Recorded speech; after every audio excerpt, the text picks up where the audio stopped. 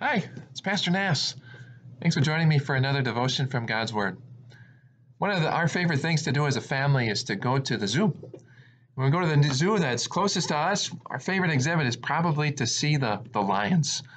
They have a, a pair of lions, a male and a female. Our boys especially love to, to see the lions.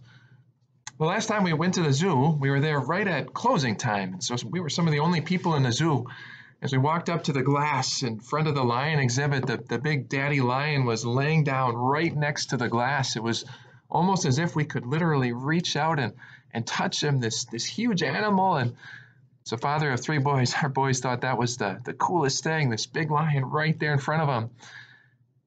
But then when we left the zoo, we had a little different experience.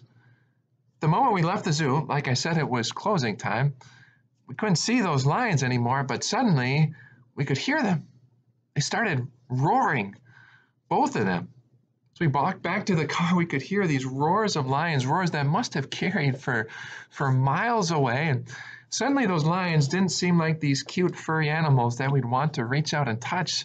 Hearing their roars sent a, a chill down your back. As, as I listened to them roaring, I thought to myself, you know, it's one thing to see lions at the zoo, but I am very thankful that I will never have to live in a place where there are wild lions around, it'd be, it'd be terrifying to imagine one of those beasts hunting you and your family.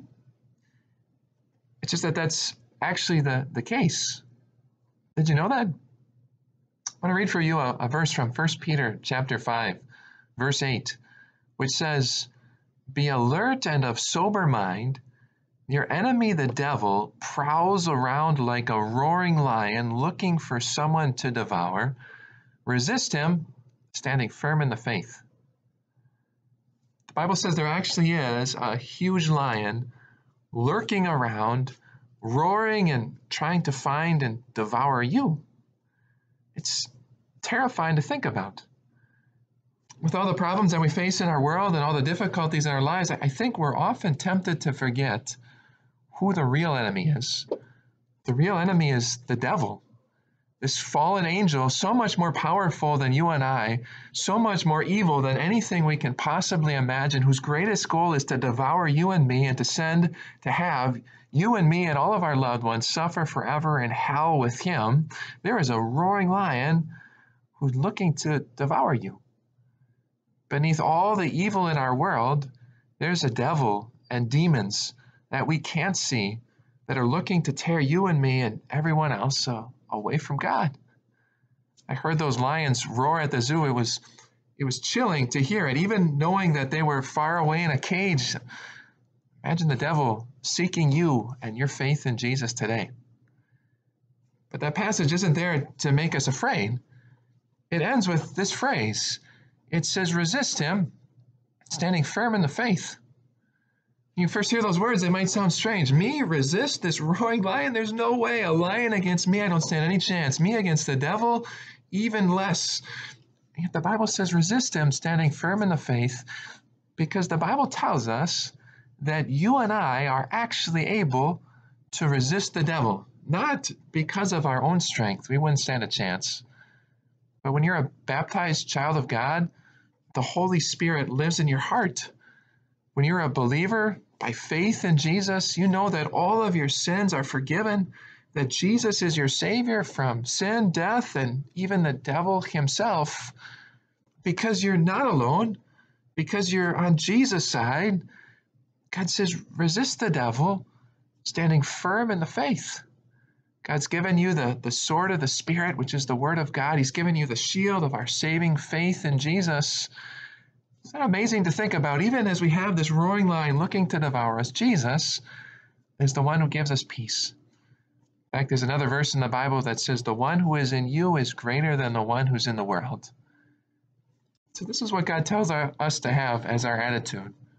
The verse started by saying, Be alert and of sober mind. Recognize that the greatest danger in the world isn't what you see on the news. The greatest danger are the spiritual forces of evil that want to pull you away from Jesus.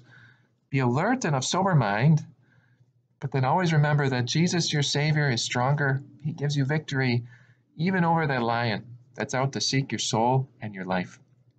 If you want to learn more about what the Bible says about the devil and demons, I just read a book recently that was very helpful to me. It's called 2000 Demons. It's written by a man named Allen Sorum, a professor at our Wisconsin Lutheran Seminary. Can get the book through our Northwestern Publishing House or probably find it on Amazon too. And even more, I invite you to come to our worship services this weekend. We're going to hear about one of Jesus' many miracles over demons, driving an, an evil spirit out of a man.